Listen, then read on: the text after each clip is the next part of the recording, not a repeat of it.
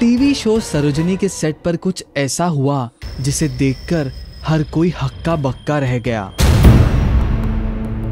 पल भर में ही एक तरफ़ खून तो दूसरी तरफ़ आंसुओं की धारा बहने लगी। जी हाँ सोमेंद्र की गाड़ी का एक्सीडेंट हो गया।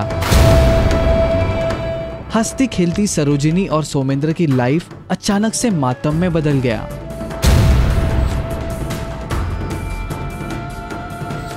वैसे आपको बता दे कि सोमेंद्र के जाने का दुख तो हर किसी को है, लेकिन साथ ही साथ मोहित के विदाई की खबर ने भी सबकी आँखें नम कर दी है। जी हाँ आपने बिल्कुल सही सुना।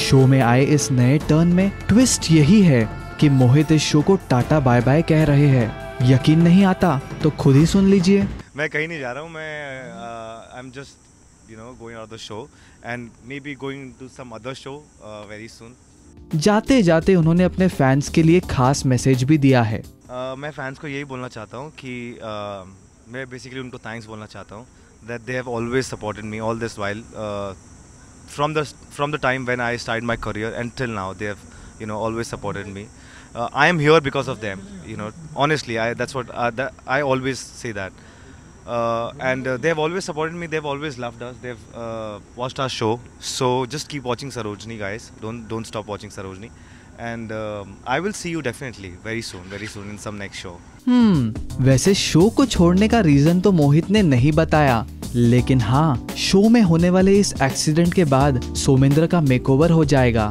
और सोर्सेस की माने तो मोहित की जगह इस शो में आशीष कपूर का चेहरा आप लोगों को देखने मिलेगा, जिसके लिए उन्होंने हाल ही में लुक टेस्ट भी दिया था वैसे आप इस न्यूज़ को लेकर क्या कहना चाहेंगे अपने व्यूज़ हमें कमेंट्स के ज़रिए ज़रूर बताएँ। वैसे आप मोहित को कितना मिस करेंगे अपने कमेंट्स के ज़रिए हमें ज़रूर बताएँ।